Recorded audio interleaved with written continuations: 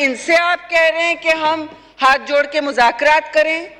क्योंकि देखिए, आप अगेन मुझसे बेहतर जानते हैं, सारा हाउस देख रहा है कि पूरी, सारी तंजीमों ने हुकूमत की, अहलकारों ने टीम बनाई।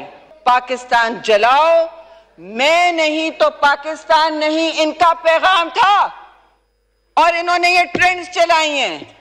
इन्होंने ये ट्रेंडें चलाई हैं कि आए इमरान खान नहीं तो पाकिस्तान नहीं। बंद करो, जला डालो।